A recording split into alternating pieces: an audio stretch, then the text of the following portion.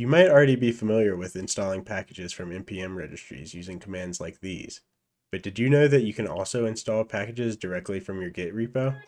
Reference your Git repo URL and desired branch name or commit hash during install to have your package manager pull down your code. This will work out of the box for simple JavaScript code, but once you introduce any amount of complexity that necessitates a build step like TypeScript, your downstream applications will start running into issues. You could build your code and commit the output to your Git repo, but you'll have to remember to compile the code every time you push updates. And do you really want to pollute your Git history with unreadable compiled files?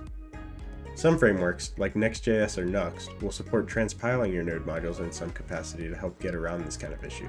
This means your code doesn't need to be pre-compiled to JavaScript. But if you're not using a framework like that, you can opt for defining a pre-packed lifecycle method. When installing from a Git URL versus an npm registry, dependencies are downloaded a bit differently. Biggest difference is that if your package contains a prepare or pre-pack step, npm and yarn will download both dependencies and dev dependencies, then it will run the pre-pack step so that any compiled files are available.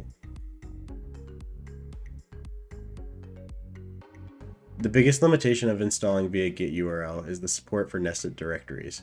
With npm, the package.json file must be located at the root of the repo, meaning this approach doesn't work for monorepos or projects where the npm package doesn't live at the root. But if you're using the latest version of Yarn, you can install workspace dependencies from your monorepo by using their own specification. This is one of many reasons you should use Yarn as your package manager. Should I do a future video on package managers? Let me know in the comments below. I hope you liked this video. I'll catch you in the next one. Have a good one.